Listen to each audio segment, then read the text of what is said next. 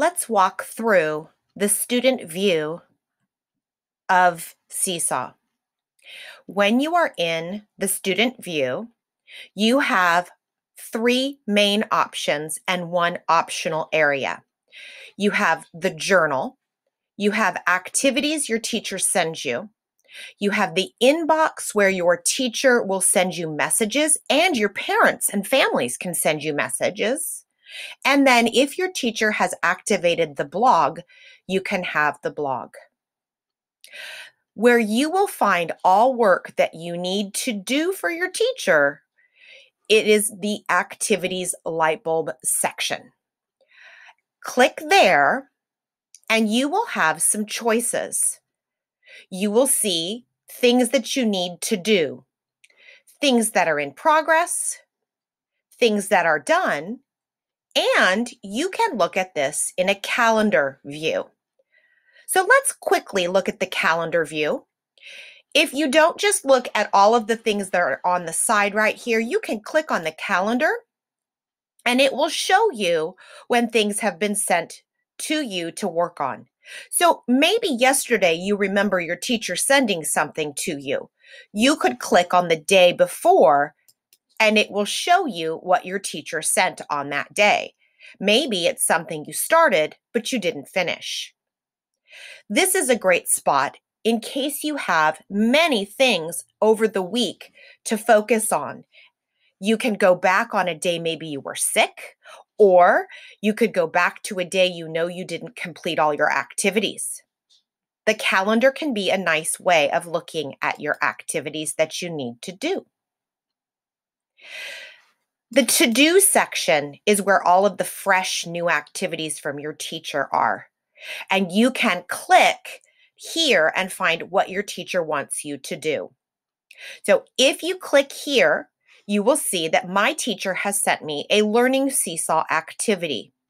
And I am going to click the green Add Response button to open that. When I click there, I will come into my activity. Now, maybe I didn't listen to the directions. So I can click up at the top and view the instructions. Now, my teacher has given me word instructions, but my teacher also recorded instructions as well. And that's another option for you if it's available to listen to what your teacher would like you to do. To get rid of this, you just click the X again. If you forget during the time while you're working on the slides, you can go ahead and click on that again. As you go through on the side, you can click and navigate through the activities. You can scroll or click to go through the side activities depending on which slide you're working on. This is an activity to teach you all about the different tools that are in Seesaw to make your learning fantastic. Now, say I do a couple of these slides, but I'm not done. I'm going to have to go back later. I save this by clicking on the orange check mark and it has the word draft on it. Draft means I'm not done, I'm still working. If I click the draft button, it saves all the work that I've done, but I can go back and finish. Now, if I go back to the activities section, you're going to notice that I have an orange button instead of a green button, and it says finish response. If I want to look at all of those, I can look at in progress. In progress is anything that I have started, but I have not finished. So if I click on in progress, I can scroll and see that I have two different activities that I am still working on. All I do to open these up is click on the orange finish response button and I can go back in and I can finish it. Sometimes when I do this, I can actually notice that I was done. But my teacher said I may have missed something and sent it back. Here, I was not done, and I'm going to go back and finish it.